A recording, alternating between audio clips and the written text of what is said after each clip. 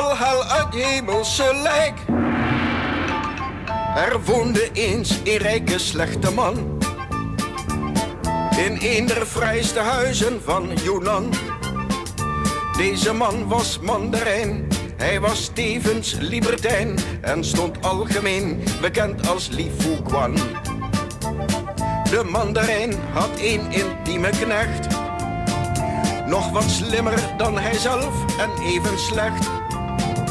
Deze stond hem trouw terzij bij zijn immoreelderij. Daarom was hij zeer aan deze knecht gehecht.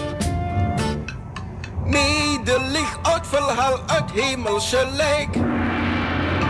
Op een morgen viel de blik van Li Guan op de wulpse vormen van juffrouw Meitan. Welke vormen zij met zorg meer omhulde dan verborg, tot voldoening van de burgers van Yunnan. Onze rijkaard riep zijn knecht en sprak Fouté. Volg dat meisje, spreek haar aan en breng haar mee. Als ze mij niet overvraagt en zich aangenaam misdraagt, zal ik haar een weekje houden als logé. Blekelend oud verhaal uit hemelse lijk. Doch mij dan was niet verkrijgbaar naar het scheen.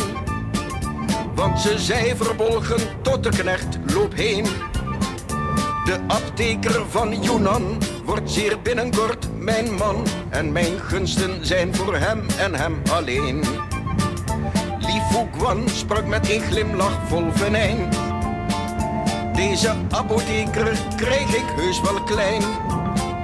Jij brengt mij zo snel het kan twee, drie haren van de man. Maar het moet natuurlijk onopvallend zijn.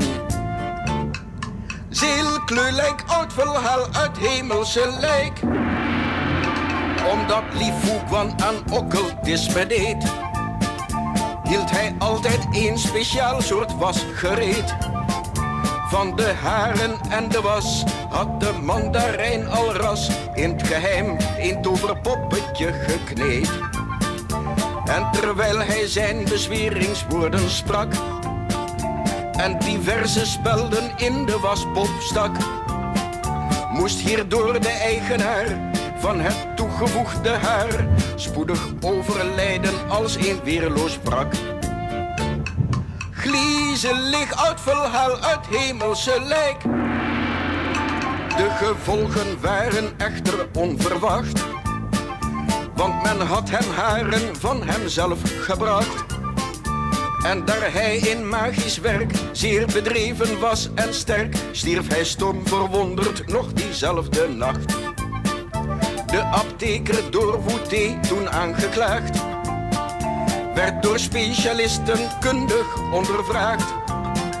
En beaamde luidkeels dat hij Li Guan vergiftigd had.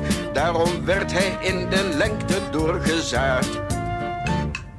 Bloedelig oud verhaal uit hemelse lijk. Maar Wouté kon alleszins tevreden zijn.